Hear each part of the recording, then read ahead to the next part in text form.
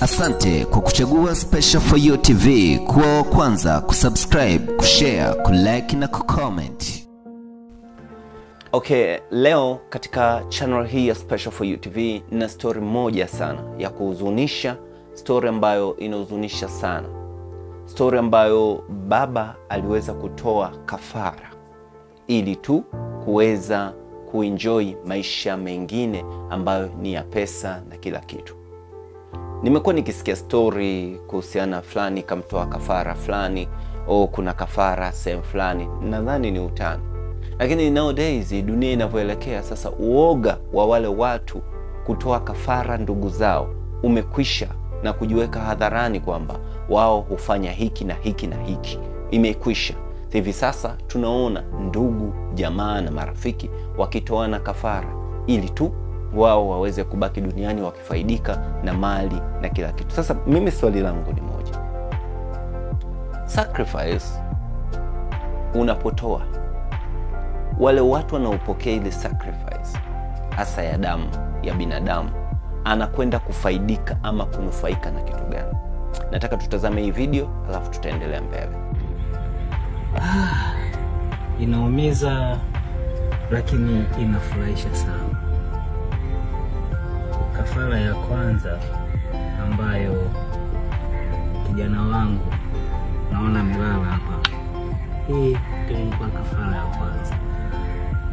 Wakati najiunga, ah, sikuamini kama ningeweza kutoa kafara ya mwanangu. Mwanangu nilimpenda sana lakini haikuwa na namna. Wakati mauti wa mwanangu namkuta, uh, nilihuzunika, lakini bado nilipata faraja na furaha kwa sababu niliweza kukabidhiwa fungu kubwa sana kama milioni mia mbili. Wakati tumemaliza tu msiba, naangalia kwenye akaunti yangu nakuta kuna milioni mia mbili. Nilitafakari mengi na nikafikiria mengi sana kwamba hiki ni nini, ni muujiza wa aina gani ambao umeweza kutokea. Lakini kuna sauti ilikuja ikasema, usihuzunike wala usifadhaike wala usijiulize ni nini ambacho kimeweza kutokea. Aa, ile ni zawadi yako ambayo imeikuta kwenye akaunti yako. Aa, nikajaribu kufikiria mara tatu zaidi.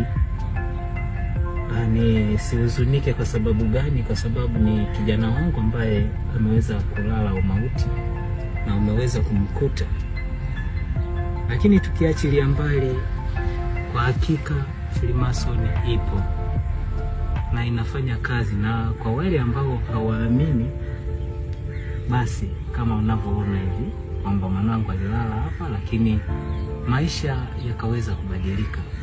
Okay, now you know. Now umeweza kusikia na kutazama video hiyo, ukimwona jamaa huyo ambaye yeye anasema maisha yake yamebadilika baada ya kumtoa kafara mwana na Freemason, ambapo baada ya kumtoa kafara na yeye akatajirika na kukuta milioni mia mbili kwenye akaunti yake lakini baada ya kukuta milioni mia mbili bado alijiuliza ni miujiza gani, ni kitu gani ambacho kime happen mpaka yeye akaweza kupata hiyo milioni mia mbili lakini akasikia sauti ikimwambia usihudhunike, hiyo ni zawadi yako.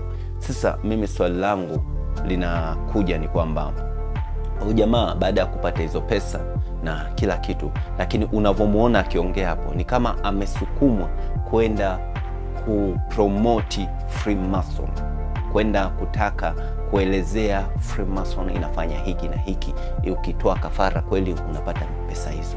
Lakini nikumbuke siku zote, damu ya mtu hailali.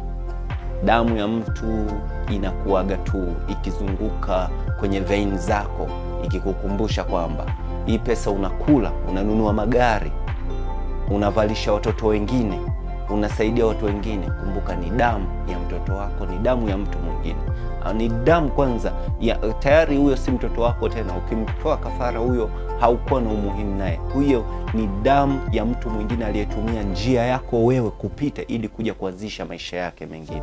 Umeitoa kafara, hiyo damu hailalagi na wewe hauchukui muda mrefu kwa sababu zile pesa zitakuja tu kuisha na mwisho wa siku utakuja kusafa kwenye maisha mi nasema tu mungu ni mmoja ukimwomba mungu sana ukapiga magoti sana ukamshukuru. Ingawa hata wale wachungaji mapasta nazungumzia mapristis kuna watu ambao wako ndani ya freemasonry. Kuna majaji kuna madoctors kuna mawaziri kuna maraisi kuna watu kibao katika ishu ya freemason but all in all mungu ni mmoja sote njia ni moja. Even uwe memba wa freemasonry nao lazima utakwenda kwa mungu.